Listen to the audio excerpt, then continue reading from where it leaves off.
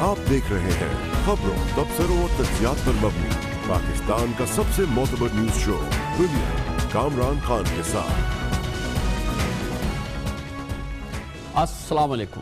میں ہوں کامران خان۔ آپ کو بہترواں یوم آزادی بہت بہت مبارک ہو۔ یوم آزادی کے اکہتر سال لوگوں نے خوشیاں منائی۔ سات دہائیوں میں پاکستان نے بڑے بڑے اتار چڑھاؤ دیکھے، لیکن ہم چیلنجز سے نمٹتے آئے ہیں۔ بات سیاست کی ہو، معیشت کی ہو، دفاعی صلاحیتوں کی ہم سے بہت غلطیاں بھی ہوئی ہیں، لیکن ہم آگے بڑھتے رہے ہیں۔ آج جب ملک میں پہلی بار ایک سابق کرکٹر سٹار وزیر اعظم بننے جا رہا ہے، جو دنیا میں پہلی بار ہے کہ ایک سپورٹس مین وزیر اعظم بننے جا رہا ہے، ہم نے سوچا کیوں نہ پاکستان کے ان سپورٹس ہیروز کو خراج تحسین پیش کیا جائے، جنہوں نے دنیا بھر میں پاکستان کا نام روشن کیا۔ بات کرکٹ کی ہو اسکواش کی ہو، ہمارے قومی کھیل ہاکی کی ہماری ٹیمز اور کھلاڑیوں نے ریسورسز کی کمی اور تمام تر مشکلات اور رکاوٹوں کے باوجود بار بار خود کو منوایا، قوم کو خوشیوں میں یکجا کیا اور اس بکھری ہوئی قوم کو ایک جگہ یکجا کرنے میں کھیل کا بہت بڑا حصہ رہا ہے، بہت بڑا کردار رہا ہے۔ آئیے آج بہترویں یوم آزادی پر نظر ڈالتے ہیں۔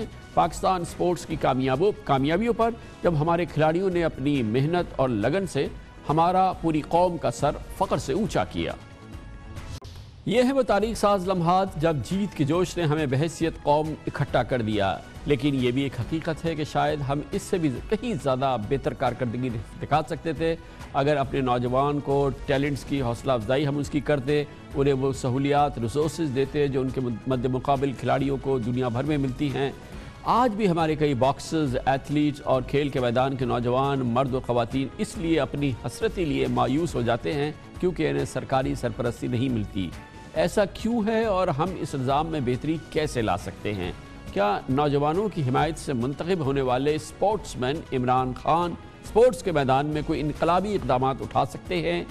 اور کیا اس ان ممکنات کیا کچھ ہیں؟ اس پر ہم مزید بات کرتے ہیں۔ ہمارے ساتھ موجود ہیں پاکستان کے نامور sports journalist senior sports journalist ہیں جناب عبد الماجد بھٹی۔ بہت بہت شکریہ بھٹی صاحب۔ شکریہ آج ہم نے یہ بہترواں یوم آزادی ڈیڈیکیٹ کیا ہے پاکستان کے سپورٹس کے نام پہ۔ ہم نے وہ لمحات بھی دکھائے شاندار کامیابیوں کے۔ آپ کے نزدیک جیت کا وہ کون سا لمحہ تھا جو سب سے سپریم لمحہ ہے پاکستان کے کسی بھی کھیل کا؟ دیکھیں، نائنٹی ٹو ورلڈ کپ، آج بھی وہ جو آسٹریلیا میں وہ جو سانگ تھا نائنٹی ٹو ورلڈ کپ کا، اس وقت جو بچہ تھا، اس کو آج بھی وہ ہو رولز دا ورلڈ تو بلکہ مجھے یاد ہے کہ جب پاکستان وہ ٹورنامنٹ جیت گیا، تو ایک انگریزی کے اخبار نے ہیڈنگ لگائی کہ پاکستان رولز دا ورلڈ تو وہ میرا خیال اس سے بڑا لمحہ تو دو ہزار میں جب بنگلہ دیش گیا، ایشیا کپ کرکٹ ٹورنامنٹ ہو رہا تھا، تو میں نے اس وقت ان کی اکیڈمی کو وزٹ کیا بی کے ایس پی کے نام سے، ڈھاکہ کے باہر کوئی میرا خیال کو بیس، پچیس ایکڑ کے رقبے پر ہر کھیل کی انہوں نے اکیڈمی بنائی ہے، جہاں پر فورن کوچز ہیں۔ اس طرح آپ انڈیا کو لے لیں، ہریانہ میں بہت بڑا ان کا اسپورٹس کا انسٹیٹیوٹ ہے۔ پھر انڈیا نے اپنی یوتھ کو موبلائز کرنے کے لیے یہ آپ نے دیکھیے کہ شاہ رخ خان کی ایک فلم آئی تھی ہاکی پر، چک دے انڈیا۔ جد انڈیا سڈنی کے اس اسٹیڈیم میں بنائی گئی ہاکی اسٹیڈیم میں، جس میں پاکستان نے انیس سو چورانوے کا ورلڈ کپ ہاکی ٹورنامنٹ جیتا۔ ہمارے وہ پوائنٹس جن سے ہم نے اپنے یوتھ کو، اپنے کھیلوں کو اوپر لے کے جانا تھا، ہم نے ڈے ٹو ڈے بیسس پر ہم اپنے سسٹم کو بناتے اب, اب یہ ہمارے یہاں ایک کرکٹ کے حوالے سے جو ہمارا بڑا اس میں ایک ڈیولپمنٹ ہوئی ہے۔ پی ایس ایل ایک اچھا برانڈ بن گیا ہے۔ نجم سیٹی صاحب کی اپنی ایک پولیٹیکل پوزیشن رہی ہے۔ ظاہر ہے کہ اور ان کے عمران خان صاحب کے ساتھ بڑے کڑے اختلافات ہیں لیکن ان کے ناقدین بھی کہتے ہیں کہ پی ایس ایل اور کرکٹ کے فروغ کے لحاظ سے نجم سیٹھی کے ایڈمنسٹریشن نے اچھا کام کیا ہے۔ آپ کیا سمجھتے ہیں کہ کام صرف نجم سیٹھی کر سکتے ہیں اور کوئی نہیں کر سکتا؟ دیکھیں یقینی طور پر اس سے بہتر بھی کام ہو سکتا تھا، لیکن پاس میں ہم نے دو تین بورڈز دیکھے جن میں زکا اشرف صاحب جب چیئرمین تھے، انہوں نے ایفرٹس کی، اعجاز بٹ صاحب نے بھی ایفرٹ کی، لیکن پی ایس ایل کروا کوئی نہیں سکا۔ اس پی ایس ایل کے پیچھے جو سب سے بڑی کہانی تھی، نجم سیٹی صاحب کا دماغ، ان کی جو ایڈمنسٹریٹو ایبلٹیز وہ ضرور تھیں۔ لیکن ایک سنگاپور کی کمپنی پی سی بی نے ہائر کی جنہوں نے ان کو پورا ایک ماڈل بنا کے دیا کہ یہ پی ایس ایل اس طرح کروایا جا سکتا عمران خان صاحب چونکہ خود اسپورٹس مین رہے ہیں، بار بار وہ کہتے رہے ہیں کہ میں پاکستان ٹیم کو دنیا کی نمبر ون ٹیم بناؤں گا۔ اس وقت پاکستان آلریڈی ٹی ٹوینٹی میں نمبر ون ہے۔ ون ڈے میں ہم پانچویں نمبر پر ہیں۔ ٹیسٹ میچ میں آج ہی رینکنگ آئی ہے، ہم ساتویں نمبر پر ہیں۔ پاکستان کرکٹ کو دیکھیں فائن ٹیون کرنے کی ضرورت ہے۔ چھوٹی موٹی جو خامیاں ہیں، ان کو دور کرنے کی ضرورت ہے۔ لیکن اصل جو خامی ہے وہ Pakistan cricket board head quarter میں ظاہر ہے اب یہ تمام چیزیں ہوں گی نا عمران خان کے سامنے جب وہ نجم سیٹی صاحب اور کرکٹ بورڈ کے چیئرمین کے مستقبل کا فیصلہ کریں گے تمام عوامل ان کے سامنے ہوں گے۔ بہت بہت شکریہ جناب عبد الماجد بھٹی ہمارے ساتھ موجود تھے۔ کمرشل بریک بہترویں یوم آزادی میں۔ پاکستان کو جس بڑے مسئلے کا شکار ہے وہ پاکستان کی معیشت ہے۔ اس کی جڑ یہ ہے کہ پاکستان کی ایکسپورٹس نہیں بڑھ رہی ہماری امپورٹس بڑھتی چلی جا رہی ہیں اور یہ جو فرق ہے امپورٹس اور ایکسپورٹس نے اس نے ہماری معیشت کا پٹھا بٹھا دیا ہے۔ کیسے یہ سب کچھ ٹھیک ہوگا، کیسے ہو سکتا ہے، اس کے فارمولہ موجود ہیں جو ہم ڈسکس کریں گے چھوٹے سے وقفے کے بعد۔ بہترویں یوم آزادی پہ پاکستانیوں کو اس وقت جس چیز کی سب سے زیادہ تشویش ہے، وہ پاکستان کی معاشی صورتحال ہے، جو ہر پیمانے سے ایک بحران کا شکار ہے۔ اس وقت ماہرین کا ایک ہی رائے ہے، وہ یہ کہ پاکستانی معیشت کو ڈوبنے سے صرف پاکستان کی ایکسپورٹس میں اضافہ ہی بچا سکتی ہے، کیونکہ پاکستان کو زر مبادلہ چاہیے اور زر مبادلہ کی آمدنی کا بنیادی ذریعہ جو ہے وہ ایکسپورٹس ہوتی ہیں۔ ہمیں ہر صورت میں اپنے ایکسپورٹس کو میں اضافہ کرنا ہے اور اس کے ساتھ ساتھ ہمیں اپنی امپورٹس پر قابو پانا ہوگا۔ بے ہنگم امپورٹس پاکستان کی ہیں اور جس کی وجہ سے یہ ایک کثیر اور بہت بڑا مسئلہ بن چکا ہے۔ ایک ماہ ختم ہونے والے مالی سال میں پاکستان کی ایکسپورٹس تیئیس ارب بائیس کروڑ ڈالر تھی، جو لگ بھگ وہی ہیں جو کہ آج سے پانچ چھ سال پہلے ہوا کرتی تھی۔ یہ وہ اتنی تشویشناک بات ہے جس کی کہ کوئی حد شمار نہیں ہے۔ تیئیس کروڑ بائیس تیئیس ارب بائیس کروڑ ڈالر کی ہم نے ایکسپورٹس کی سن دو ہزار سترہ اٹھارہ میں، جو ہم نے دو ہزار بارہ تیرہ میں کی تھی۔ امپورٹس ہماری ساٹھ ارب ڈالر ہو گئی ہے، جس کی وجہ سے ہمارا تجارتی خسارہ یعنی کہ امپورٹس اور ایکسپورٹس میں جو فرق ہے، وہ سینتیس ارب ڈالر کی ریکارڈ سطح تک پہنچ گیا ہے، جس کا ہم کوئی حساب نہیں دے سکتے، نہ ہی ہم اس کو فنڈ کر سکتے ہیں۔ پاکستان بیورو آف اسٹیٹکس کے مطابق نئے مالی سال کے پہلے مہینے میں، جولائی میں، ایکسپورٹس کا حجم ایک ارب چونسٹھ کروڑ ڈالر، جبکہ امپورٹس کا حجم چار ارب تراسی کروڑ ڈالر رہا۔ اس طرح ایک ماہ کا تجارتی خسارہ تین ارب انیس کروڑ ڈالر رہا۔ جو پاکستان کسی حالت میں نہیں سہ سکتا، بہت ہی تشویشناک صورتحال ہے۔ پاکستان کے متوقع وزیر خزانہ اسد عمر، جو کہ اب آنے والی حکومت میں وزیر خزانہ ہوں گے، چند دن پہلے جب ہمارے پروگرام میں آئے، انہوں نے اس کلیدی مسئلے پہ یعنی کہ گرتی ہوئی ایکسپورٹس پر اپنی تشویش کا اظہار کرتے ہوئے، جو ذہن میں ان کے فوری اقدامات تھے، وہ عوام کے سامنے رکھے۔ پچھلے پانچ سال کے اندر کیونکہ ہم ریونیو اکٹھا کرنے کی کوشش کر رہے تھے اور ڈائریکٹ ٹیکس ہم اکٹھا نہیں کر رہے تھے، تو انڈائریکٹ ٹیکس پہ ہم نے اتنا انحصار کیا کہ پورے خطے کے اندر ہم نے اپنی صنعت اور تجارت اور کسان کے لیے سب سے مہنگی بجلی کر دی اور سب سے مہنگی گیس کر دی۔ اب وہ اگر اس کی انپٹ کاسٹ ہم نے سب سے زیادہ کر دی ہے تو وہ بیچارہ مقابلہ کیسے کرے گا ان کا؟ ہم نے میں تو بولتا تھا کہ آپ نے ہاتھ پیچھے باندھ دیے اور رنگ میں اتار دیے اور دوسرے باکسر اس کو مارے جا رہے ہیں اور نتیجہ کیا ہو رہا ہے کہ ایکسپورٹس گر رہی ہیں اور امپورٹ بڑھتی چلی جا رہی ہیں۔ تو ہم نے برابری کا میدان دینا ہے فوری طور کے اوپر، جس کی بنیاد کے اوپر یہ مقابلہ کر سکے۔ اس کے علاوہ اور بہت سارے اقدامات ہیں، لیکن وہ بعد میں لینے کے کیا واقعی یہ فارمولہ ہے جس سے ہماری ایکسپورٹس میں اضافہ ہو سکتا ہے؟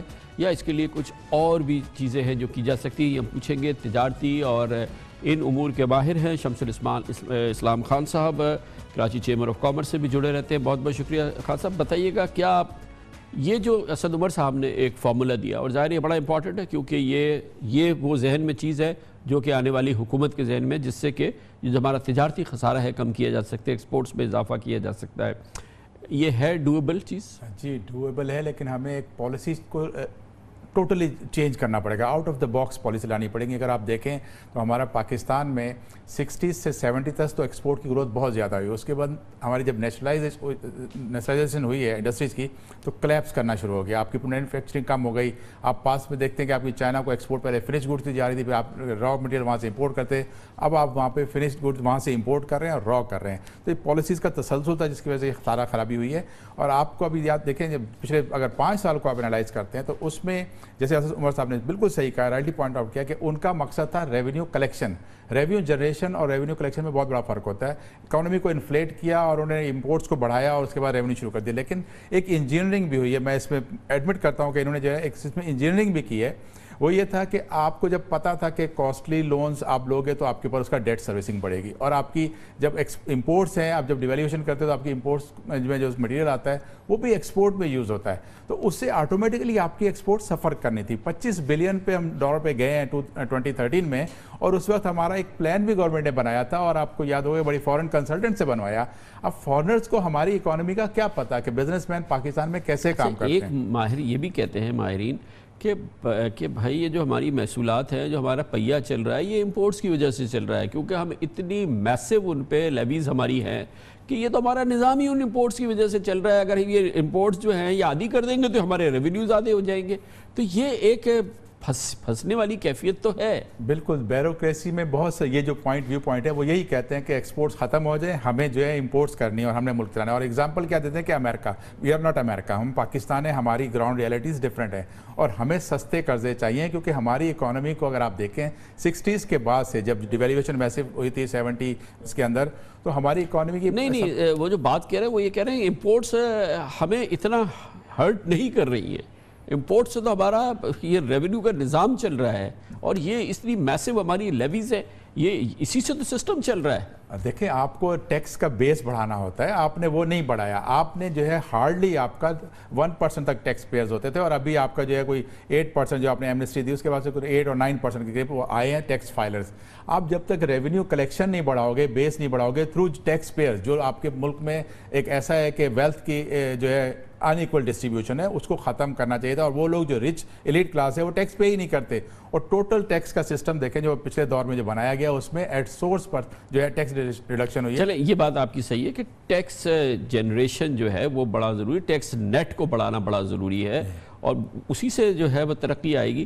لیکن یہ جو خیال ہے کہ جو ایکسپورٹس میں آپ اس لیے مقابلہ نہیں کر پا رہے کہ ہماری انڈسٹری ہمارا انٹرپرینور انوویٹیو نہیں ہے، ہمارا ورکر محنتی نہیں ہے، ہماری پروڈکٹ اتنی کمپیٹیبل نہیں ہے۔ ہم، وہ ایک الگ بات ہے کہ مہنگے الگ ہیں۔ تو اب اس کو ہم دوسرے طریقوں سے ڈیویلیویشن سے، اس سے اس سے کرنے کی کوشش کر رہے ہیں۔ اصل کام تو کرنا ہے۔ انڈسٹری نے ورکر نے انٹرپرینور نے انوویشن نے، ترقی نے ٹیکنالوجی نے، وہ ہماری انڈسٹری نے اپنی وہ بٹ کی نہیں ہے۔ وہ ساری بیٹھی رہتی ہے انتظار میں کہ جی کہ ہمیں ریبیٹ دے دو، ہمیں کنسیشن دے دو، ہمیں سبسڈی دے دو۔ ابھی اسد عمر صاحب بھی کہہ رہے ہیں کہ بجلی سستی کر دیں گے گیس سستی کر دیں گے۔ یہ تو طریقہ نہیں ہے خالی۔ کلیکٹیو ہمارا فیلئر ہوا ہے۔ گورنمنٹ اور پرائیویٹ سیکٹر کا کلیکٹیولی فیلئر ہوا ہے۔ گورنمنٹ نے جو ہے اپنے اپنے فوکس پہ لائن پہ چلی اور جو ہمارا بزنس سیکٹر تھا وہ اپنے اس پہ چلا لیکن ہم نے اپنی برانڈنگ نہیں کی۔ اور برانڈنگ کا میں بتاؤں کہ جیسے ویلیوڈیشن ایک کی رول ہوتا ہے آپ کی ایکسپورٹس کو بڑھانے کا۔ وہ ڈپینڈ کرتا ہے کہ آپ کے ملک میں لٹریسی ریٹ کتنا ہے۔ اگر آپ کوریا کی مثال دیتے ہیں، سنگاپور کی مثال دیتے ہیں یا ملیشیا کی مثال دیتے ہیں وہاں سب جگہ لٹریسی ریٹ ہم سے بہت زیادہ تھا۔ ہم ویلیوڈیشن میں نہیں گئے، ہم ٹوٹل ہمارا اکانومی کا اسٹرکچر سکسٹیز سے لے کے، آج بلکہ سیونٹی ون ایئرز ہو چکے ہیں۔ جب آپ کہہ رہے ہیں کہ ہم ویلیو ایڈیشن میں نہیں گئے تو ہمارا انٹرپرینور نہیں گیا نا ہمارا انڈسٹریلسٹ نہیں گیا۔ کیونکہ گورنمنٹ نے پالیسی سامنے ایسی نہیں دی کہ گورنمنٹ کو اس کو اٹیکشن دیتی ہے۔ گورنمنٹ کیا کرتی ہے؟ لیول پلینگ فیلڈ بناتی ہے اور اس میں جو ہے وہ لوگوں کو اتارتی ہے کہ آپ کمپیٹ کریں اور ہم آپ کو گراؤنڈ دیں گے۔ آپ نے انفراسٹرکچر کو جو ہے ایسا بنایا ہی نہیں اس کے بعد جو ان پٹ کاسٹ ہوتی ہے دس سالوں میں آپ اگر دیکھیں تو مسلسل بڑھتی گئی ہے۔ اب ہم جو ہے ریجن میں کمپیٹ کر رہے ہیں بنگلہ دیش کے ساتھ انڈیا کے ساتھ ویتنام ہے اور اس کے بعد ملیشیا ہے۔ آپ سب سے اس میں لیسٹ ڈیولپڈ کنٹری جو ہے وہ بنگلہ دیش کی ہے۔ اگر آپ اس کی ایکسپورٹس کو پاکستان کی ایکسپورٹ سے میچ کرتے ہیں تو وہاں ایکسپورٹ زیادہ ہے۔ اس کی وجہ یہ نہیں ہے کہ وہاں کا جو ہے ایکسپورٹر بڑی ویلیویشن کر رہا ہے۔ وہاں پر بھی وہی کام ہو رہا ہے کہ ہم سے جو ہے را مٹیریل امپورٹ کرتے ہیں ہم تو ہم پروڈیوس کرتے ہیں کاٹن وہاں پر جو ہے وہ صرف را مٹیریل امپورٹ کر کے اس کے بعد اس کی ویلیو ایڈیشن والی جو پروڈکٹ بناتے ہیں اس میں بھی ان کا کوئی برانڈ نہیں ہے۔ وہ سب وہی انٹرنیشنل برانڈس کے لیے پرچیز بنا رہے ہوتے ہیں۔ لیکن گورنمنٹ ان کو انسینٹیو دے رہی ہے۔ انسینٹیو سے ان کو کمپٹیٹیو بنایا جا رہا ہے۔ مارکیٹ کے اندر کہ آؤ کمپیٹ کرو وہ لوگ جو کاٹن پروڈیوس کر رہے ہیں یا جن کے وہی انسینٹیو کی بات ہے جو اسد عمر صاحب جس کی بات کر رہے ہیں وہی بنگلہ دیش کی حکومت دے رہی ہے بنگلہ دیش میں ایک سبسڈیز کا ڈفرنٹ نظام ہے۔ اور ہم جو چاہ رہے ہیں کیونکہ آپ دیکھیں اس سنیریو میں آج جو آپ کھڑے ہیں کیچ ٹوئنٹی ون میں، اس میں کیا ہے کہ آپ کے پاس ریونیو بھی نہیں ہے ٹیکس بیس ہی نہیں ہے، آپ تو وہ ٹارگیٹ بھی پورا نہیں کر سکتے۔ تو پیسے کہاں سے دیں گے؟ آپ کے پاس ٹریڈ ڈیفیزٹ بڑھتا جا رہا ہے، تو اس میں گورنمنٹ کو آؤٹ آف دا باکس جا کے ایک چیز دینی ہوگی۔ اور جس کے لیے میں آپ کو بتاؤں کہ ہم نے کراچی چیمبر آف کامرس نے ایک پلان تیار کیا ایکسپورٹ بونس واچر اسکیم کا۔ اور اس کو ہم نے لاسٹ ایئر وہاں سے آگے فارورڈ بھی کیا ہے۔ اور اس کے اوپر ابھی ریسنٹلی میری لاسٹ ویک وہاں پہ منسٹری آف کامرس میں سیکٹری صاحب جو ہے، دھاگا صاحب، میں نے ان کو دیکھ کے میں حیران ہو گیا کہ ایسا بیروکریٹ اتنی تیزی سے کین انٹرسٹ لے کے اور کام کر رہے تھے۔ انہوں نے پوری بات کو سنا اور سمجھا کہ آج آپ کے پاس ایک پہلی بات ہے کہ آپ نے فائنینشیل مسلس کو ڈیمیج کر دیا ایکسپورٹرز کے مینوفیکچرز کے، کیونکہ انڈسٹریلائزیشن ختم ہو گئی۔ اور ان کے پاس اب ان کے اماؤنٹ جو ہے بلاک ہو گئے ساڑھے تین سو سے چار سو ارب۔ پھر ہماری ایکسپورٹ جو پچھلے پانچ سالوں میں کوئی تھرٹی فائیو پرسنٹ مہنگی ہو گئی۔ ہمارا چاول اور کاٹن یہ دو چیزیں ایکسپورٹ کرتی ہیں۔ باقی جو ویٹ اور شوگر ہے وہ ہمارے اوپر لائبلٹی ہیں، کیونکہ شوگر بھی سبسڈی لے رہی ہے اور وہ آج جب ایکسپورٹ کر رہے ہیں۔ تو بیس ارب کی سبسڈی دے کے، دس روپے، ستر پیسے، کلو پہ سبسڈی دے کے اور گندم ایکسپورٹ کر رہے ہیں تو ایک سو پچپن سے ایک سو انسٹھ ڈالر کی دے رہے ہیں۔ تو یہ آپ تو پورا سنک کر رہے ہیں، جہاز کو ڈبو رہے ہیں، جس پہ آپ ایکسپورٹ کر کے چلنا چاہتے ہو۔ تو ایسی کہاں کی سمجھداری ہوگی کہ ایک ڈالر جو آپ کو دو سو دس روپے کا پڑے تو ایسی ویٹ ایکسپورٹ کرنے سے آپ کو دوسری طرف جانا چاہتا ہے ویلیو ایڈیشن کرتے ہیں۔ آج ہماری ویلیوڈیشن اس میں ویٹ میں بالکل ہی ہم کمورٹی ایکسپورٹ کرتے ہیں۔ گورنمنٹ کو چاہیے کہ اپنا رول جو انوینٹری گورنمنٹ کی ہوتی ہے وہ کافی کاسٹلی ہوتی ہے۔ اگر وہ پرائیویٹ سیکٹر کو دیتی ہے تو آج آپ کی یہاں سے نوڈلز جائیں گی میکرونی جائے گی بسکٹ جائیں گے فلاور جائے گا سیمولینا جائے گا سوجی جائے گی۔ یہ تمام ویلیوڈیڈ ہیں جہاں پہ چار سو پچاس ڈالر پر ٹن کا صرف فلاور کی قیمت ہے۔ اور جو نوڈلز ہے اس کی اور میں ایگزامپل دیتا ہوں کہ آپ کو اٹلی میں ویٹ پروڈیوس نہیں ہوتی وہ دنیا سے ویٹ امپورٹ کر کے اور سب سے بڑا ملک ہے جو وہ میکرونی اور نوڈلز وغیرہ ایکسپورٹ کرتا ہے۔ تو ہم نے اس طرف گورنمنٹ نے ہی پالیسی دینی تھی۔ آپ اگر اس کو کموڈی ویلیو ایڈیشن کرنا ہوگا۔ بہت بہت شکریہ۔ شمس الاسلام خان ہمارے ساتھ موجود تھے۔ کمرشل بریک دوران اپنی ہیڈ لائنز دیکھیں گے جس کے بعد ہم اپنے پروگرام کے باقی حصے کے ساتھ واپس آتے ہیں۔ آپ دیکھ رہے ہیں خبروں تبصروں اور تجزیات پر مبنی پاکستان کا سب سے معتبر نیوز شو دنیا۔ کامران خان کے ساتھ۔ قوم نے آج صدر ممنون حسین کی صدارت میں آج آخری یوم آزادی منایا، کیونکہ صدر ممنون حسین کی آئینی مدت اگلے باقی نو تاریخ کو پوری ہو رہی ہے۔ نو ستمبر کو صدر مملکت جناب ممنون حسین اپنے پانچ سالہ دور اقتدار پورا کر لیں گے۔ ابھی اس مدت میں پچیس روز باقی ہیں، مگر اس کے باوجود صدارتی الیکشن سکیجول نہیں آ سکا ہے۔ جبکہ آرٹیکل اکتالیس کے تحت آئین کا آرٹیکل اکتالیس کہتی ہے کہتا ہے کہ صدر کی مدت ختم ہونے سے کم از کم تیس دن قبل نئے صدر کا الیکشن کرانا ضروری ہے۔ اب یہ وہ صورتحال ہے جس میں فی الحال الیکشن کمیشن آف پاکستان خاموشی اختیار کیا ہوا ہے۔ آرٹیکل اکتالیس کے تحت پہلی صورت میں صدارتی الیکشن نو اگست کو ہو جانے چاہیے تھے، جبکہ دوسری صورت میں عام انتخابات کے تیس دن کے اندر صدارتی الیکشن ہونا ضروری ہے۔ اس لحاظ سے پچیس اگست تک ہر صورت میں صدارتی الیکشن کا ہونا ضروری ہے۔ کم از کم جو آئینی شقے ہمارے سامنے موجود ہے اس کی تشریح یہ ہے۔ اور اس کے لیے ابھی دس روز باقی ہیں۔ ویسے صدر کا جو الیکٹرل کالج ہے، اس میں سینٹ کے ممبران ہوتے ہیں، قومی اسمبلی اور چاروں صوبائی اسمبلی کے ممبران شامل ہوتے ہیں۔ قواعد و ضوابط کے تحت الیکشن کمیشن آف پاکستان کے لیے ضروری ہے کہ وہ صدارتی الیکشن کی تاریخ سے پندرہ روز قبل اسکیجول جاری کرے، لیکن ابھی تک صدارتی الیکشن کا عمل شروع نہیں کیا گیا۔ صدارتی مدت ختم ہونے کی صورت میں چیئرمین سینٹ قائم مقام صدر کے فرائض سر انجام دیں گے۔ الیکشن کمیشن صدارتی الیکشن کا اسکیجول جاری نہیں کر پا رہا ہے۔ اس پورے الیکشن سیزن میں الیکشن کمیشن کی کارکردگی پر بد نظمی پر شدید تنقید ہوئی ہے۔ اس کی گونج آج بھی قومی اس تقریب میں پاکستان کی سب سے اہم قومی تقریب میں سنائی دی۔ جب صدر ممنون حسین نے آج قوم سے خطاب میں بہترویں یوم آزادی پر خاص طور پہ الیکشن کمیشن آف پاکستان کی حالیہ دنوں میں کارکردگی کے حوالے سے محتاط انداز میں صحیح، مگر اس کو تنقید کا نشانہ بنایا۔ الیکشن کمیشن کو وسیع اختیارات تفویض کیے گئے۔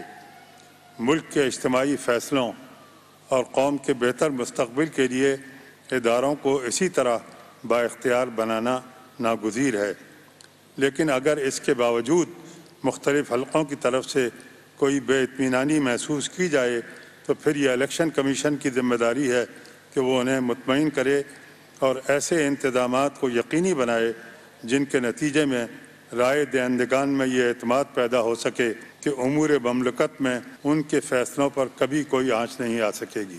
میں سمجھتا ہوں کہ یوم آزادی اور عام انتخابات کے درمیان اس زمانی قرب میں بھی ایک رمز اور پیغام پوشیدہ ہے۔ گویا یہ ایک طرح کی یاد دہانی ہے کہ جس طرح یہ ملک عوام کی مرضی سے وجود میں آیا تھا، اس طرح اس کی قسمت کے فیصلے بھی ووٹ کی پرچی سے ہوں گے۔ صدر ممنون حسین، اب سے نو ستمبر کے درمیان ان کی مدت پوری ہو جائے گی، نئے صدر آ جائیں گے۔ امکان یہی ہے کہ پاکستان تحریک انصاف اور اس کے سربراہ عمران خان آئندہ آنے والا صدر نامزد کریں گے، جو الیکٹرل کالج ہے۔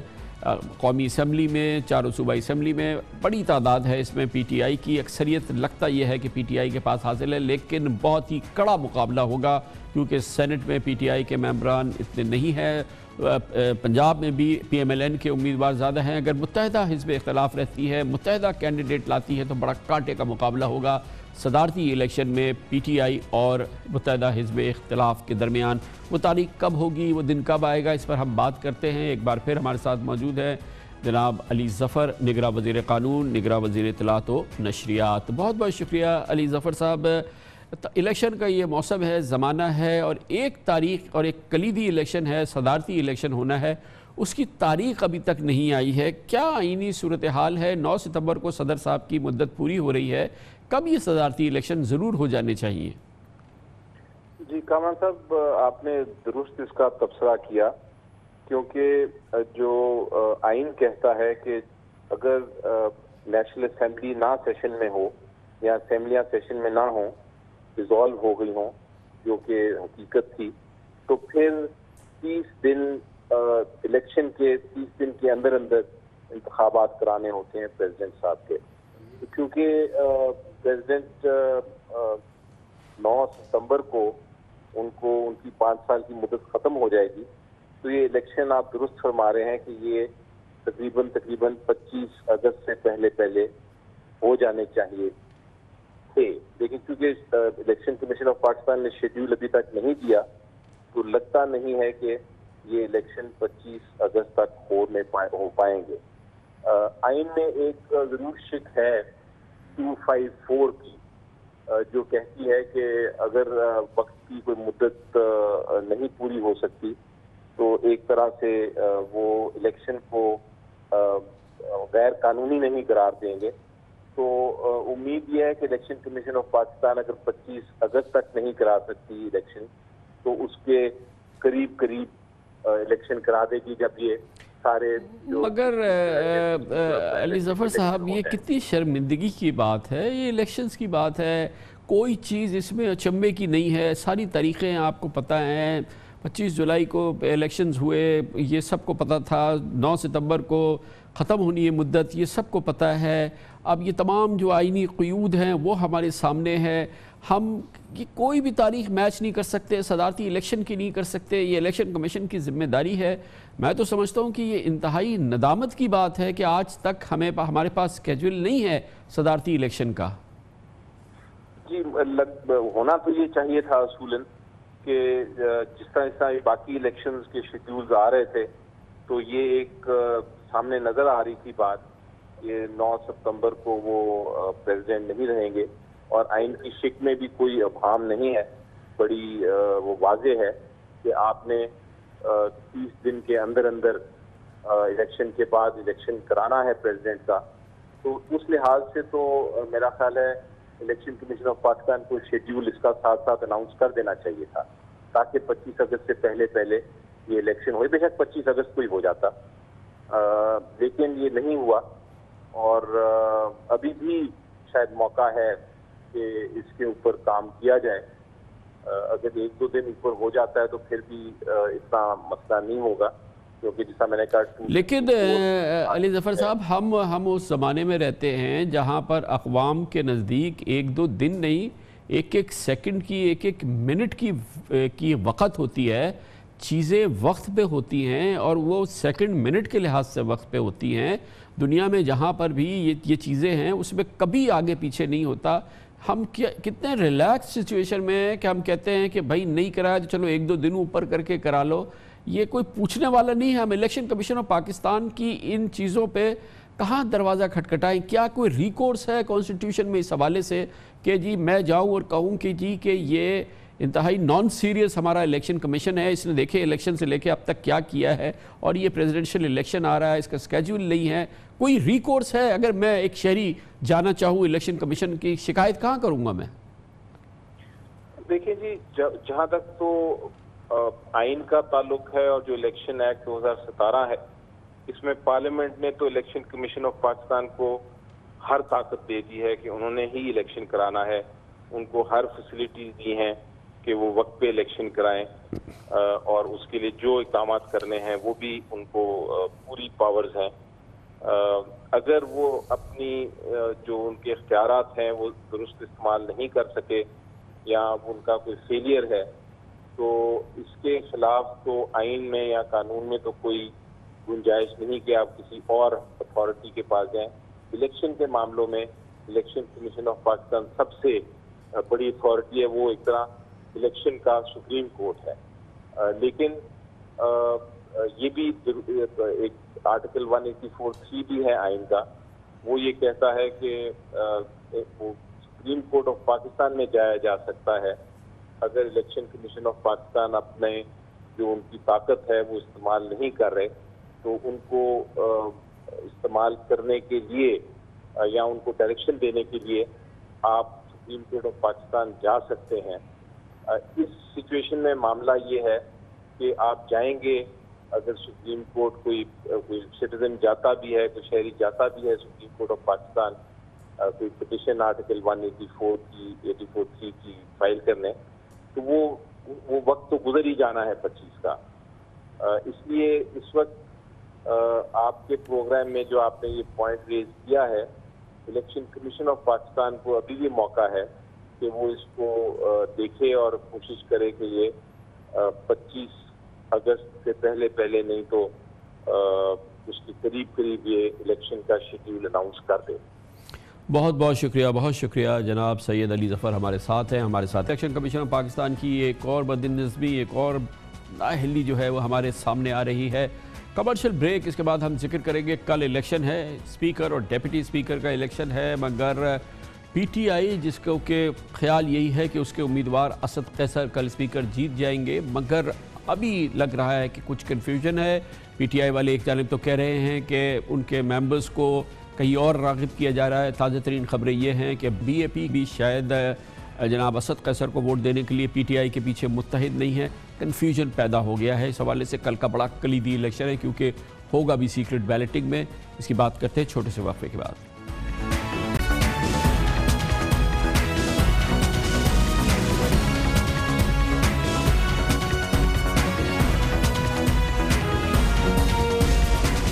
نامنتخب شدہ راکین قومی اسمبلی نے کل حلف اٹھا لیا، جس کے بعد اب اسپیکر اور ڈیپٹی اسپیکر کا الیکشن ہوگا جس کے لیے کل الیکشن ہوگا، رائے شماری ہوگی۔ تحریک انصاف نے کے پی سے منتخب اسد قوسر کو اسپیکر اور جنوبی پنجاب سے رکن قومی اسمبلی قاسم سوری کو ڈیپٹی اسپیکر کے لیے نامزد کیا ہے۔ ان کا مقابلہ ہوگا متحدہ اپوزیشن کی جانب سے پیپلز پارٹی کے سابق قائد اختلاف سید خورشید شاہ، جو اسپیکر کے کینڈیڈیٹ ہیں اور ایم ایم اے کی جانب سے مولانا فضل الرحمان کے صاحبزادے اسد محمود ڈیپٹی اسپیکر کے جو کینڈیڈیٹ ہیں ان کے ساتھ یہ کل صبح دس بجے الیکشن ہوگا اور اس کی اہمیت یہ ہے کہ یہ سیکرٹ بیلٹنگ ہوتی ہے۔ اس لیے نمبرز جو ہیں وہ اپنی جگہ ہیں، لیکن کینڈیڈیٹ امیدوار اندر جا کے امیدوار کے لیے ایک رکن اندر جا کے کس کو ووٹ دیتا ہے، یہ کسی کو پتہ نہیں چلے گا۔ اس وقت قومی اسمبلی میں تحریک انصاف اور اس کے اتحادیوں کی ایک سو چوراسی تعداد ہو چکی ہے، جبکہ مسلم لیگ نون اور Peoples Party M M A اور اے این پی کو ملا کر اپوزیشن اراکین کی تعداد ایک سو چون ہے۔ اس طرح نمبر گیم میں ویسے تو تحریک انصاف کو واضح برتری حاصل ہے، لیکن کیونکہ سیکرٹ بیلٹنگ ہے، اس حوالے سے خدشات بڑھ رہے ہیں، خدشات پیدا ہو رہے ہیں۔ پی ٹی آئی والے کہہ رہے ہیں کہ اراکین کی خرد و فروخت ہو رہی ہے، تازہ ترین ڈیولپمنٹ یہ ہوئی ہے کہ بلوچستان عوامی پارٹی جو کہ ایک پی ٹی آئی کی اتحادی ہے اور اس اور بہت بڑی اتحادی ہے۔ اس کو فوری طور پہ اطلاعات ہے، یہ ہے کہ اس کو کچھ تحفظات ہو گئے الیکشن کے حوالے سے۔ اس کو اب ریزالو کرنے کی کوشش کر رہے ہیں پی ٹی آئی والے۔ دوسری جانب سب سے دلچسپ بات یہ ہے کہ پی ٹی آئی کے کلیدی رہنما کئی بار دن میں کہہ چکے کہ اس ان خدشات کا وہ اظہار کر چکے کہ اسپیکر الیکشن میں خرید و فروخت کی جا رہی ہے۔ نام انہوں نے پیپلز پارٹی کا نہیں لیا، مگر اس سلسلے میں واضح اشارے آج جاری کیے۔ خود مخدوم شاہ محمود قریشی نے، فواد چودھری نے، بلکہ خود اسپیکر کے امیدوار اسد پیسر نے۔ کچھ اس قسم کی اطلاعات آ رہی ہیں، جس میں کہ کچھ ممبران سے، ممبران قومی اسمبلی سے رجوع کیا گیا۔ اور ہر ممبر کا حق ہے کہ وہ اپنی ثوابدید کے مطابق اپنے پسند کے اسپیکر اور ڈپٹی اسپیکر کو ووٹ دے۔ ہر ممبر کا حق ہے اور اس حق کو ہم تسلیم کرتے ہیں۔ لیکن بدقسمتی سے ہم نہیں چاہیں گے کہ جو ماضی میں سینٹ کے الیکشن میں جو کچھ ہوا، وہ دہرایا جائے۔ اور اگر ایسا ہوتا ہے، اس سے پارلیمنٹ کا وقار مجروح ہوگا۔ کچھ لوگوں نے یہ شکایت کی ہے کہ ان کو اپروچ کیا گیا ہے اسپیکر کے انتخاب میں۔ اور کچھ معاملات ایسے بھی ہیں جس میں یہ کہا جا رہا ہے کہ شاید کوئی بھاری فنڈز استعمال ہو رہے ہیں۔ بات یہ ہے کہ ہم یہ سمجھتے ہیں کہ جو ایک طریقہ کار ماضی میں رہا ہے کہ سیکریٹ بیلٹس میں جو ایک خرید و فروخت کے معاملات ہیں یا جو ہم نے دیکھا ہے وہ نہیں ہونا چاہیے۔ کچھ لوگوں کو کوچ کیا گیا ہے اور اس کے اوپر ابھی ایک انکوائری تحقیقات جو ہے وہ۔ جی۔ کچھ اراکین جو ہیں اراکین پارلیمنٹ قومی اسمبلی ان کی یہ شکایت تھی کل انہوں صاحب کو شکایت تھی کہ پیپلز پارٹی کے لوگ ان سے رابطے کر رہے ہیں انہیں آفس کر رہے ہیں بلینک چیک آفر کر رہے ہیں کہ خورشید شاہ صاحب سے وہ سپورٹ کریں۔ اس حوالے سے کیا آپ کو بھی چیلنج درپیش ہے یا آپ کی کوئی بات ہوئی ہے؟ اچھا، آج بیسیکلی ہمیں بھی کچھ انفارمیشن تو ملی ہے۔ ہم سمجھتے ہیں کہ اس قسم کی پالیٹکس جو ہے نا پوری قوم کے لیے بدنامی اور پالیٹیشین لیے خود بیزتی کے باعث بنتی ہے۔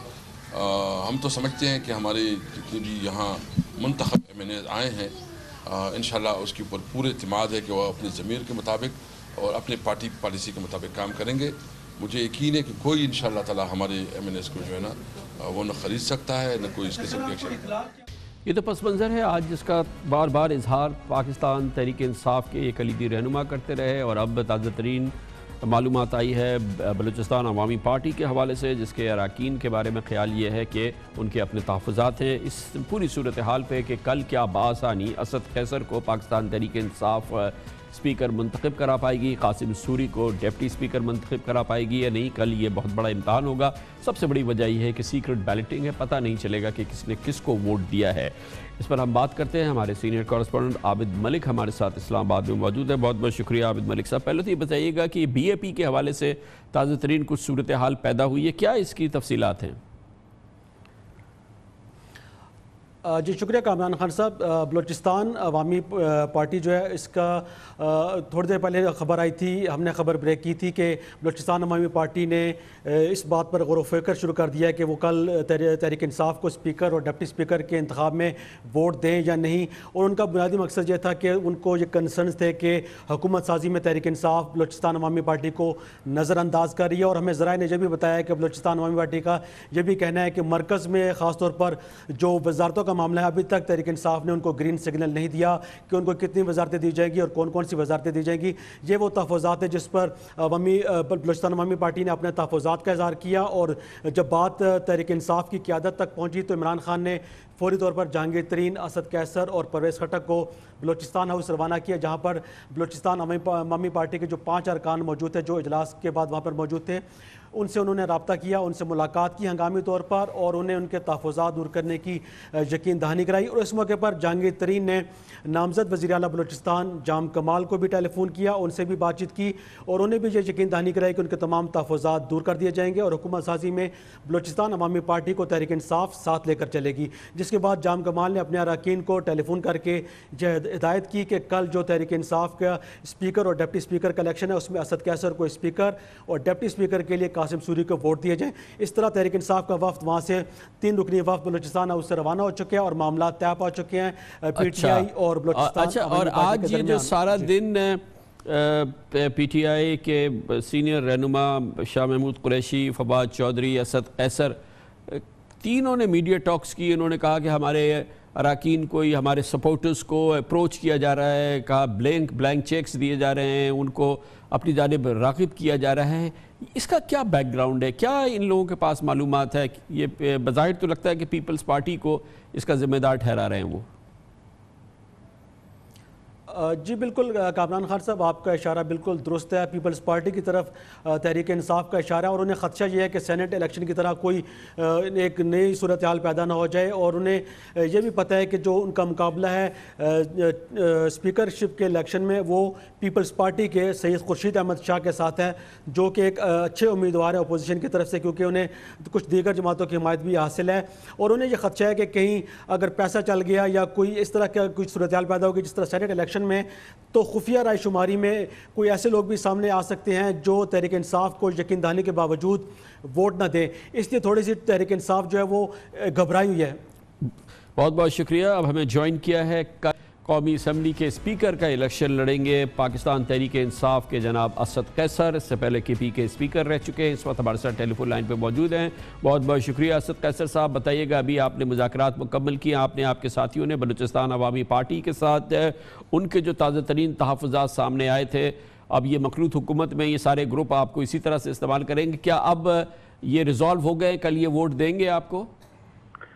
بالکل، ابھی ہمارے اس کے ساتھ ملاقات ہو گئی ہے۔ ہم نے پوری اس کے ساتھ ڈسکشن کیے جنگی تیری صاحب تھی پرس خٹک صاحب تھی، مہتا، تو اس کے ساتھ جو اس کی تھوڑی بہت کنسرن تھی، وہ ہم نے وہ ایڈریس ہو گئے ہیں اور ابھی انہوں نے خود بھی میڈیا کو بیان جاری کیا ہے اور ان شاء اللہ تعالیٰ بلوچستان میں بھی ہم ساتھ لے کے چلیں گے اور یہاں مرکز میں بھی وہ ہمارے ساتھ گورنمنٹ کا باقاعدہ حصہ ہوں گے اور ہم چاہتے ہیں کہ بلوچستان کی جو محرومیاں ہیں، اس کے حوالے سے ہم پورا بلوچستان کی لیے ایسا پیکج دے کے بلوچستان کی محرومیاں ختم ہوں لیکن اسد قیصر صاحب یہ مخلوط حکومت کے یہ آپ لوگوں نے کے پی میں بھی کی ہے اور یہاں پر اب مرکز میں ہونے جا رہی ہے یہ تو معاملات آپ کو اس کا سامنا کرنا پڑے گا۔ یہ یہ چھوٹی جماعتیں جو ہیں یہ کبھی حمایت میں آئیں گی کبھی حمایت کھینچیں گی۔ یہ آپ کے لیے ایک لنگرنگ پرابلم ہوگا حکومت کے لیے؟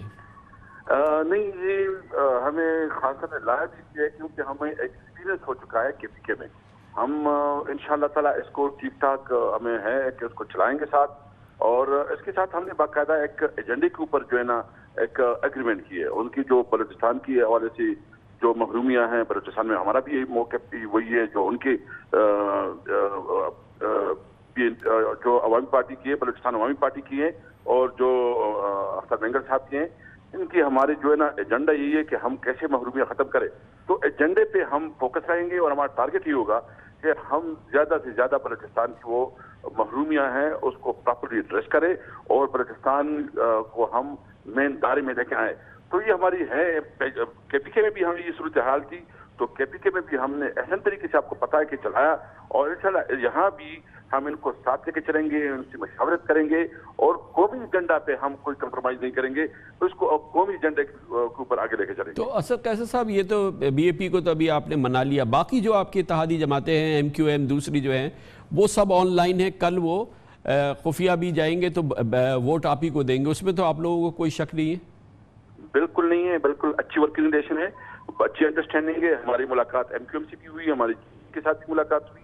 ہماری جو ہے نا بلوچستان عوامی پارٹی کے ساتھ بھی ہوئی، بی این پی کے ساتھ بھی ہوئی، سب کے ساتھ ہم نے اپنے ڈسکس بھی کیا ایشوز بھی سیٹل کیے اور ان شاء اللہ تعالیٰ جو جو ہمارے آگے بڑھیں گے، کیونکہ ایک، یہ ایک گڈ جسٹر ہے کہ یہ اس وقت جو گورنمنٹ بن رہی ہے اس میں پوری پاکستان کی نمائندگی ہے اس میں آپ کو سندھ سے بھی ایک مناسب نمائندگی نظر آ رہی ہے، آپ کو بلوچستان سے بھی ایک مناسب نمائندگی نظر آ رہی ہے، آپ کو پنجاب میں بھی نظر آ رہی ہے اور خاص کر آپ کو کے پی کے میں ایک باری مینڈیٹ مل رہا ہے۔ تو ایک نیک شگون ہے کہ پہلی دفعہ ایک حکومت آ گئی جو کہ پوری ملک کی یکجہتی کے لیے ایک علامت بن گئی ہے۔ ضرور ہے ضرور ہے۔ مگر اسد قیصر صاحب، یہ کل سے آپ لوگ مسلسل جس طرف اشارہ کر رہے ہیں، بار بار آپ کہہ رہے ہیں کہ ہمارے کار، ہمارے جو منتخب اراکین ہیں، ان کو اپروچ کیا جا رہا ہے، ان کو مراد کی پیشکش کی جا رہی ہے، سینٹ کے الیکشن کی یاد دہانی کی جا رہی ہے۔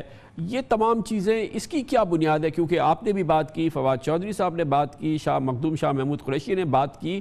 یہ اتنی انٹینسٹی سے آپ لوگ بات کر رہے ہیں تو کیا اس اس کے اس کا پس منظر کیا ہے؟ ہمارے کچھ ایم نے آ کے ہمیں بتایا کہ اس کو اپروچ کیا گیا، اس کو جو نافر کی گئی۔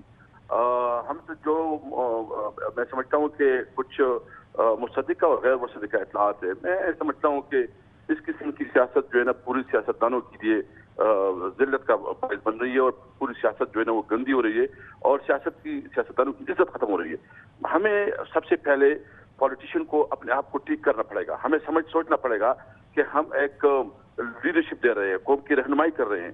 ہم کیوں ایسا کام کریں کہ جس کی وجہ سے ہماری قوم پوری اخلاقی دوالیت کی طرف چلے جائے؟ تو میں ہمیں تو ہم تو بالکل کیٹیگریکلی اس چیز کے خلاف ہے اور ہم سمجھتے ہیں کہ عمران خان کی قیادت میں ہم وہ کام کریں گے۔ جو اطلاعات ہمیں ہیں، ابھی اس کی ہم نے پوری، کیونکہ ہمیں نے کہا ہے، اور میں سمجھتا ہوں کہ نہیں ہونی چاہیے، اور اس کی جمہوریت کو بہت بڑا نقصان ہے۔ بالکل ہمیں اطلاعات ہے۔ اچھا اسد قیصر صاحب، یہ بتائیے گا کہ اگر اللہ کے فضل و کرم سے آپ کل کامیاب ہو جاتے ہیں، اسپیکر بن جاتے ہیں، تو اسد قیصر اسپیکر قومی اسمبلی، سردار ایاز صادق اسپیکر قومی اسمبلی سے کس طرح مختلف ہوگا؟ دیکھیں میں تو سمجھتا ہوں کہ سب سے پہلے اسمبلی جو ہے نا، وہ پوری قوم کی امانت ہے۔ یہ کسٹوڈین آف دا ہاؤس ہوتا ہے۔ اس کی ریسپانسبلٹی ہے کہ جو جو مینڈیٹ جس کو ملا ہے، اس کا احترام کیا جائے۔ میں کوشش کروں گا کہ میں تمام پولیٹیکل پارٹیز کو، جو پارلیمان میں ہے، اس کو اس کا حق دوں، اس کے ساتھ مشاورت کروں۔ میرٹ کے مطابق جو اس کا رائٹ بنتا ہے۔ اور میں صرف یہ نہیں کروں گا، بلکہ سب سے پہلے میرا کام بھی ہوگا، جو قومی ایشوز ہے جس میں پانی کا مسئلہ ہے، جس میں فاٹا کا ایشو ہے، جس میں بلوچستان کا ایشو ہے، جس میں ہماری جو اس وقت انٹرنیشنل محاذ پہ جو ہمیں چیلنجز سامنے ہے جو اس وقت ہماری اکانومی کی ایشوز ہیں، میں سب ایشوز پہ اوپن ڈیبیٹ کی دعوت دوں گا تاکہ پوری پوری تمام پولیٹیکل پارٹیز کی اس کے اوپر جو ہے نا اپنی اوپینین آ جائے، اس کی تجاویز آ جائے۔ اگر کوئی ایسی، اور خان صاحب نے بھی کہا ہے کہ ہم اس اسمبلی کو مضبوط کریں گے پارلیمنٹ کو مضبوط کریں گے اور اس کو ایک ایسا ادارہ بنائیں گے کہ سیمانوں میں عوام اچھا اسد قیصر صاحب، یہ بتائیے گا کہ آپ بھی ظاہر ہے کہ اس عزم میں شامل ہیں، جو کہ سب سے بڑا وعدہ اور عزم سامنے آیا تھا خان صاحب کی پہلی تقریر میں کہ شاہانہ جو حکومتی لائف سٹائل ہے، اس کو خیربات کہا جائے گا، پروٹوکول وغیرہ کو ختم کیا جائے گا۔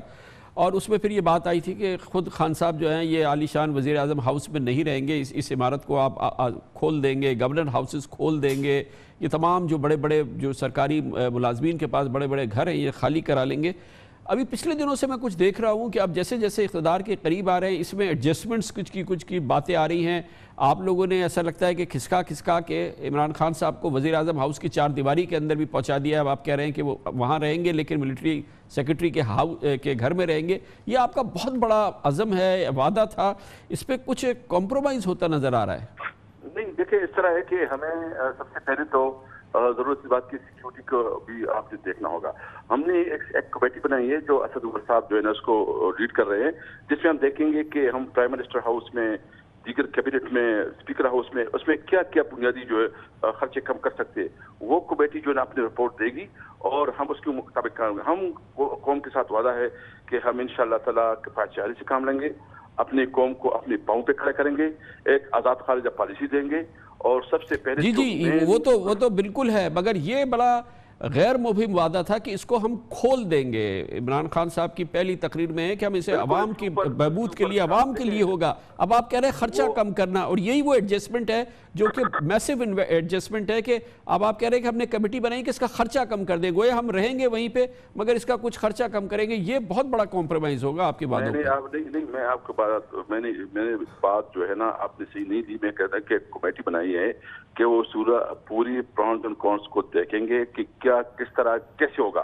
تو وہ خان صاحب اپنی قوم کے ساتھ خطاب میں سب کچھ سامنے رکھیں گے۔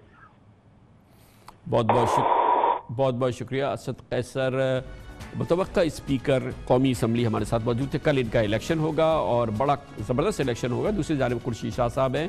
ڈپٹی اسپیکر کے لیے قاسم سوری ہیں۔ دوسری جانب مولانا فضل الرحمان کے صاحبزادے اسد محمود ہوں گے اور یہ ایک بڑا دلچسپ مقابلہ ہوگا کیونکہ خفیہ رائے شماری کے ذریعے ہوگا۔ کمرشل بریک اور اس کے بعد ہم ذکر کرتے ہیں پی ایم ایل این کے سربراہ جناب شہباز شریف کا۔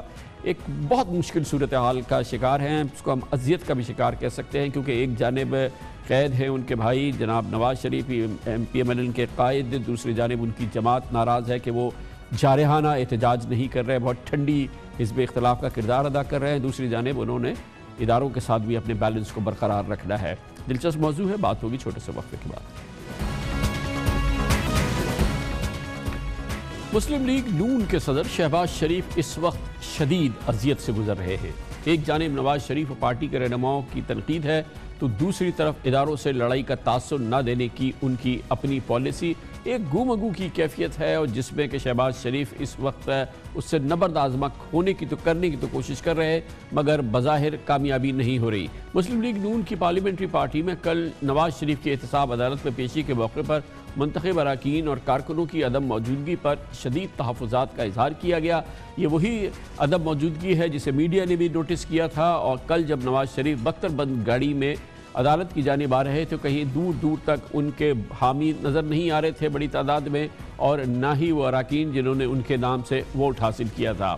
اس صورتحال پر شہباز شریف نے کل کہا کہ نواز شریف کی دوبارہ پیشی کے موقع پر وہ خود احتساب عدالت جائیں گے۔ کل جب نواز شریف صاحب دوبارہ احتساب عدالت آئیں گے، شہباز شریف نے تمام منتخب اراکین کو بھی ہدایت کی کہ وہ سب کل اسپیکر کے الیکشن سے پہلے احتساب عدالت کے سامنے جمع ہوں۔ اور جبکہ اسپیکر اور ڈیپٹی اسپیکر کی ووٹنگ کے لیے بازوؤں پر کالی پٹیاں باندھ کر آئیں۔ لیکن اس کے ساتھ ہی شہباز شریف نے رہنماؤں کو واضح کیا کہ ابھی بھرپور احتجاج کا وقت ان کے بقول نہیں آیا ہے۔ مسلم لیگ نون کے اجلاس میں اس بات پر بھی شدید تنقید کی گئی کہ قومی اسمبلی میں عمران خان کے آنے پر تحریک انصاف اور بلاول بھٹو کے آنے پر پیپلز پارٹی کے اراکین نے زبردست نعرے بازی کی، لیکن شہباز کے آنے پر ان کا استقبال گرم جوشی سے نہیں کیا گیا۔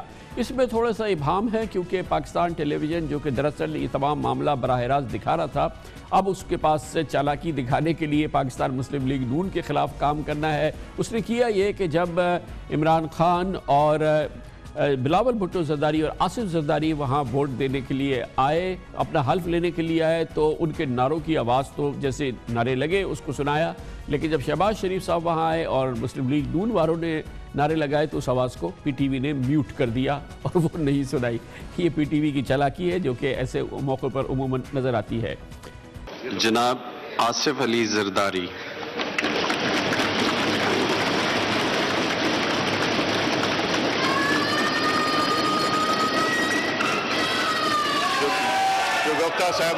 شگفتہ صاحبہ جناب عمران احمد خان نیازی۔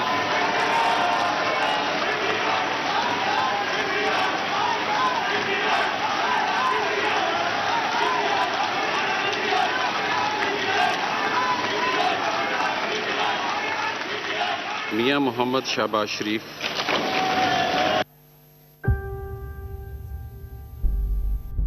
جی thank you thank you please تشریف رکھیں۔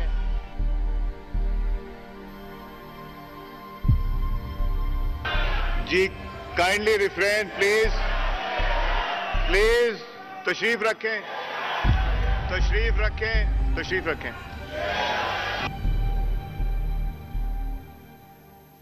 کل جب اجلاس ہوا تھا پی ایم ایل کا، اس بات پر بھی شدید ترقید کی گئی کہ پنجاب میں مسلم لیگ نون کی اکثریت کے باوجود پارٹی آزاد رہنماؤں کی حمایت حاصل کرنے میں ناکام رہی، جس کا فائدہ اٹھاتے ہوئے تحریک انصاف صوبے میں حکومت بنانے کی پوزیشن حاصل کر چکی ہے۔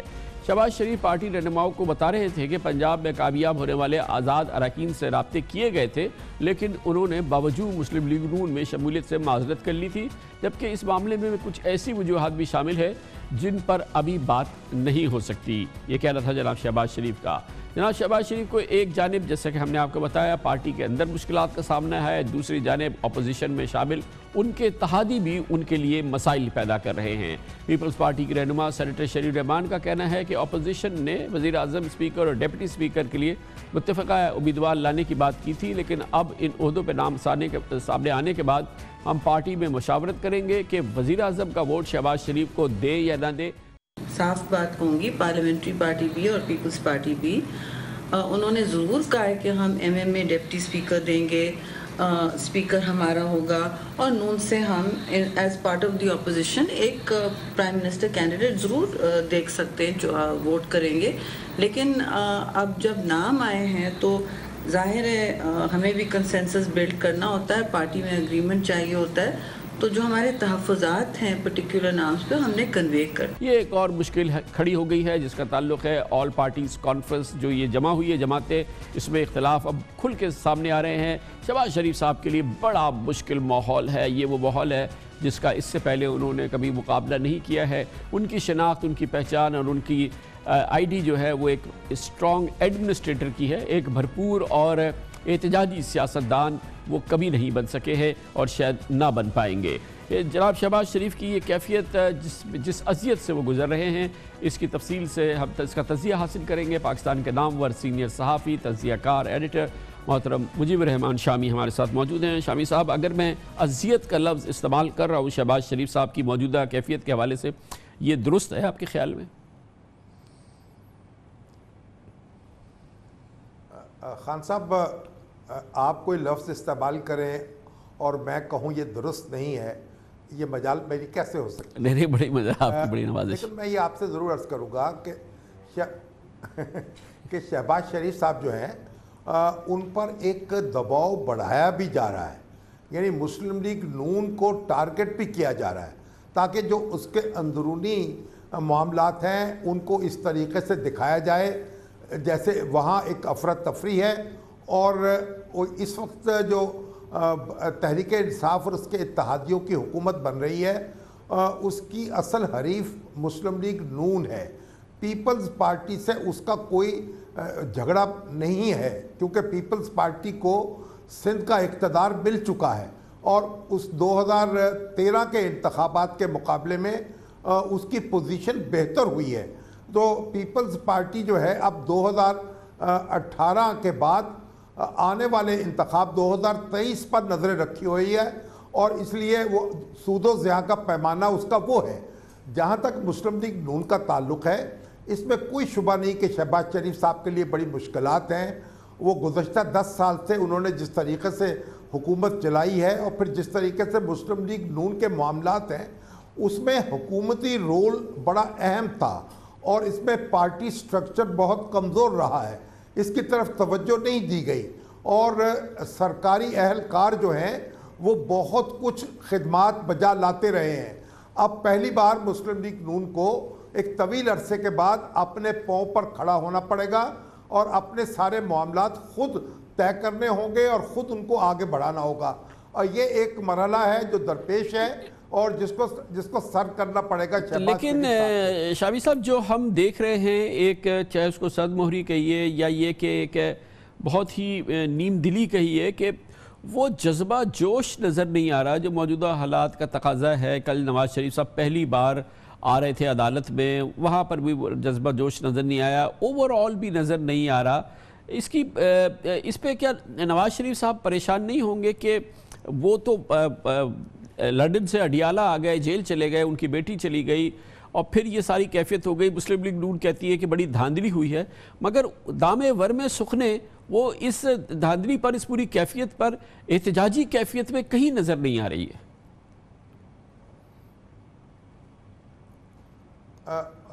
خان صاحب، دیکھیے یہ ایک یعنی ایسا ہے کہ کھائی اور خندق کے درمیان معاملہ ہے۔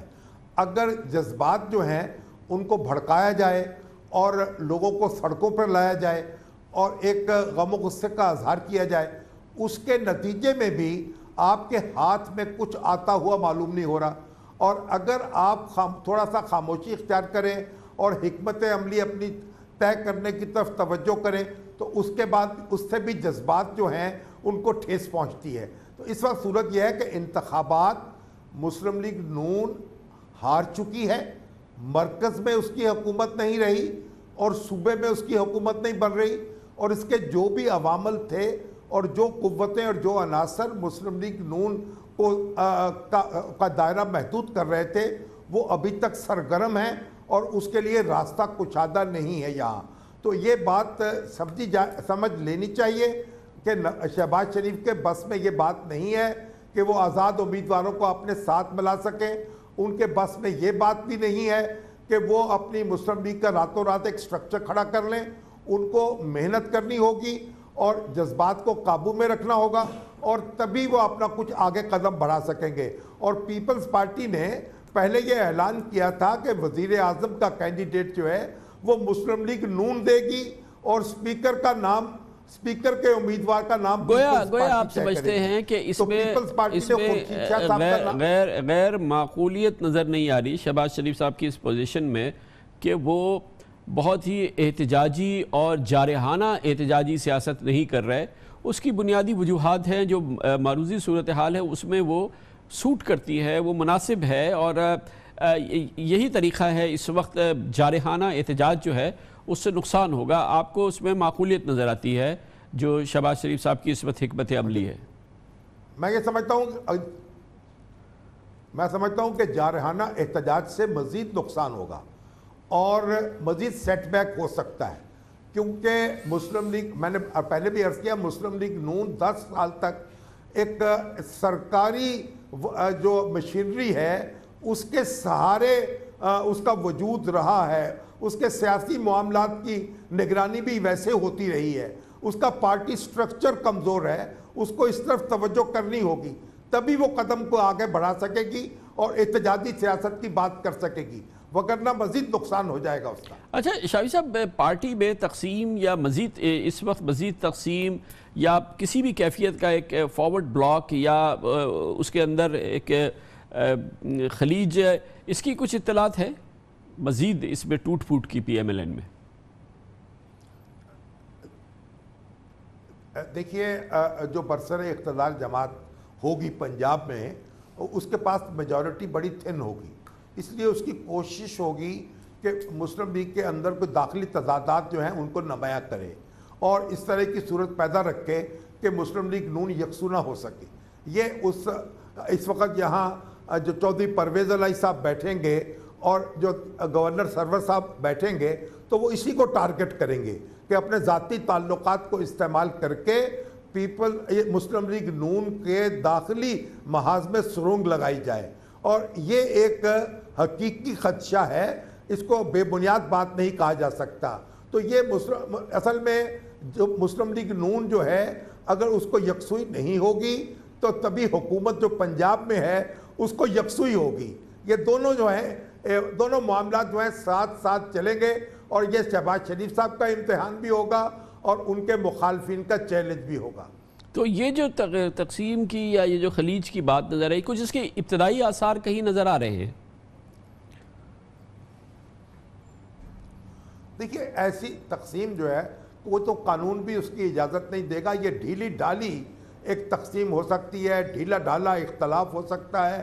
اور یہ بہت زیادہ اگریسولی چیزیں میرا خیال اس طریقے سے ابھی تک ہوتی ہوئی نظر نہیں آ رہی۔ کل تو کوئی ایسی چیز پرسوں کیا ہوگا، اس کے بعد کیا ہوگا، یہ ایک مختلف نقشہ ہو سکتا ہے۔ لیکن کیونکہ یہاں جو پبلک سینٹیمنٹ ہے، وہ اب تک مسلم لیگ نون کا حلقہ جو ہے، اس کا بڑا مؤثر ہے۔ تو اس لیے وہی طاقت ہوگا شہباز شریف صاحب کی، اور وہی طاقت ہوگا مسلم لیگ نون کو ڈویژن سے بچانے کے لیے بھی۔ بہت بہت شکریہ جناب مجیب الرحمان شامی ہمارے ساتھ تھے۔ اس کے ساتھ ہی ہمارے آج کے پروگرام کا اختتام ہوتا ہے۔ کل آپ سے پھر ملاقات ہوگی انشاءاللہ۔ کل تک کے لیے کامران خان کو اجازت۔ اللہ حافظ سے۔